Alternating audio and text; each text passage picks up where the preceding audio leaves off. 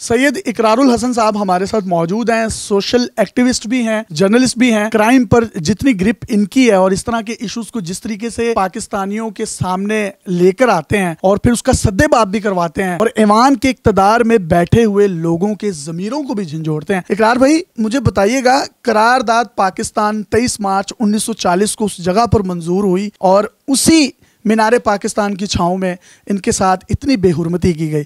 आपका कलेजा मुँह को नहीं आता? मैं बड़ा सख्त जुमला और हाथ बाँध के माफ़ी मांग के सारे पाकिस्तानियों से, पाकिस्तान के लोगों से भी, दुनिया भर के लोगों से भी, कि मैं अंदर बैठा शुक्र अदा कर रहा था अल्लाह ताली की ज़ात का, कि पता नहीं उसने इस माशरे में शुक्र मालिक, तूने बेटी अता नहीं की मुझे। बेटी के साथ आप इसका मतलब ना बाज़ार में जा सकते हैं, और ये वो जगह है शामी साहब, जहाँ खड़े होकर हम कश्मीर की माओ, बहनों और बेटियों के लिए आवाज़ बुलंद करते रहे हैं। किस मुँह से कश्मीर की माओ, बहनों और बेटियों की बात करते हैं, जब हमारे यहाँ पे अपनी माएँ, बहनें और बेटियाँ महफूज नहीं हैं? और उसी मकाम पर जहाँ हमने पाकिस्तान की बात की थी, जहाँ हमने ये तय किया था कि एक ऐसा मुल्क होगा, जहाँ हमारी माएँ, बहनें, बेटियाँ आज़ाद होंगी। मैं सिर्फ़ अपनी बहन के पास इसलिए पहुँचा आपके साथ कि हम बता सकें इस बेटी को, इस बहन को, कि बच्चे हम साथ हैं आपके।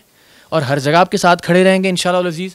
जो अल्लाह ताला ने हैसियत, जो औकात, जो दिए अपने बड़े भाई के तौर पे, आप जो दर्जा मुझे आप देना चाहो अपने रिश्तेदार के तौर पे, मैं आपके साथ खड़ा हूँ इन शामी आपके साथ हैं, जो हम कर सकते हैं कि शायद आने वाली किसी बेटी को, किसी बहन को हम बचा सकें इस तरह की बेहरमती से, इस तरह की बेइज्जती से। मैं पूरी कौम की तरफ़ से मेरी बहन ये हाथ बाँध के आपसे माफ़ी माँगता हूँ। अल्लाह ताला आपको सलामत रखे और आपने बहुत बहादरी वाला कदम उठाया कि कम से कम एफ़ आई आर कटवाइए। यहाँ तो इज़्ज़त के नाम पे चुप करके बैठ जाते हैं, घर में घर वाले बिठा लेते हैं कि बेटा बस यही जो हो गया, बस ठीक है। और यही वजह है कि ये दरिंदे, भेड़िए, इनके हौसले बढ़ते हैं आगे बढ़ के। मैं शर्मिंदा हूँ, पूरी कौम शर्मिंदा है आपसे। इस वक्त मैं अभी ट्विटर पर भी देख रहा था, सब लोग जो है वो शर्मिंदगी का इजहार कर रहे हैं दामद का इजहार कर रहे हैं, लेकिन मुझे ये समझ नहीं आ रही, किसी एक की गैरत नहीं जागी। कोई एक माँ वाला नहीं था, कोई एक बेटी वाला नहीं था, कोई एक बहन वाला नहीं था, जो आगे बढ़ के इस बच्ची का हाथ थामता और निकाल लेता उस हजूम में से। कुछ लोग कॉमेंट सेक्शन में ये भी बातें करते हैं सोशल मीडिया पर कि शायद ये टिकटॉकर है, ये वहाँ गई थी, इसने कोई फाहश वीडियो बनाई होगी।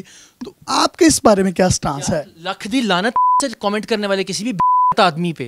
यानी वो जो वीडियो मैंने देखी है कि पूरे लिबास में और उससे आगे वो वीडियो बच्ची खुद कह रही है, मैं नहीं देख पा रही हूँ कि वो हमने उसे बार बार कहा ना, कपड़े फाड़ दिए, वो कह रही नहीं, कपड़े फाड़े नहीं, कपड़ा रहने नहीं दिया जिसम के ऊपर कोई। ये जवाब है आपकी दरिंदगी का और आपके भेड़िए होने का, आपके जानवर होने का या आपके हैवान होने का कि आपके अंदर का जानवर निकल आए और आप इस तरह की पर उतराएँ अपनी बहन आपको याद ना रहे अपनी बेटी आपको याद ना रहे। ये तो जो भी कमेंट करता है मेरा ख्याल है उसके ऊपर पूरी कौम को लानत भेजनी चाहिए। अगर वो ये जवाब बना के पेश करता है कि कोई बच्ची वहाँ जाके वीडियो बना रही थी मेरी बेटी अगर होगी तो मैं मैं, मैं चाहूँगा वो जाए मीनारे पाकिस्तान पर चौदह अगस्त को जाके वहाँ कुछ रिकॉर्ड करे बिल्कुल पाकिस्तान को खराज तहसीन पेश करे। तो इसका यह मतलब है कि लोग टूट पड़ेंगे उसके ऊपर जानवरों की तरह। इनका कहना है कि मैंने सब्ज हिलाली परचम की मुनासबत से वो कपड़े पहन कर गई और कोई ऐसे कोई फाहश लिबास भी नहीं है वो। हम तरक्की याफ्ता ममालिक में जाते हैं। हम वहाँ देखते हैं, वहाँ पर अगर खातून रात को तीन बजे भी कहीं से गुजर रही है, किसी की ज़रूरत नहीं है कि उसको वीकेंड अगर होता है, हम सारे सारी दुनिया देखी हुई है ना, वहाँ पे नशे में धुत औरतें और मर्द दोनों क्लब से बाहर निकल रहे होते हैं। किसी की ज़रूरत नहीं होती कि किसी की तरफ़ नज़र उठा के देखे या किसी पे कोई आवाज़ कस ले। लिबास पे हाथ डालना या बेहरमती करना तो बहुत दूर की बात है। तो फिर तो काफर माशरे बहुत बेहतर हुए हमसे। इसी बात पे शर्म से डूब के चुलू भर पानी में डूब मरना चाहिए कि हम कैसी पाक हस्ती के मानने वाले हैं।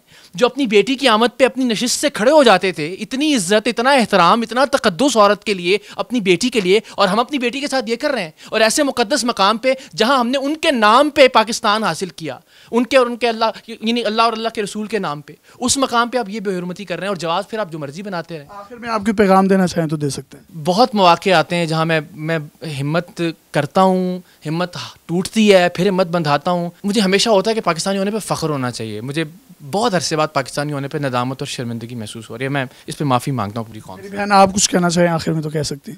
मेरे पास कुछ अल्फाज ही नहीं है बोलने के लिए। कितना कुछ सोच कर गई थी। मैं कोई नाचने गाने वाली नहीं थी। मैंने कोई दलाली नहीं की थी। मैं कोई दूसरी दुनिया से नहीं आई थी कि किस चीज़ की मुझे इतनी बड़ी सज़ा मिली। आप मुझे इस बात का जवाब दें कि जब एक औरत एक लड़की मेरी आगे शादी होगी मेरा आगे फ्यूचर है मेरे भाई हैं मेरी फैमिली है मेरा एक ड्यूटी प्लेस है कि जब एक लड़की के कपड़े उतार दिए जाते हैं तो वो वहीं पे ख़त्म हो जाती है। ए, एक बात बस ये जहन में रखना है कि इज़्ज़त जो है ना वो कपड़ों का नाम नहीं है इज़्ज़त उन की उतरी है जिन्होंने ये हरकत की है।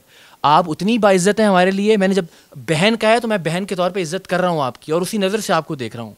तो ये इज़्ज़त कपड़ों से लिबास से मशरूत नहीं है इस कौम को इस इस सोच से बाहर निकलना होगा।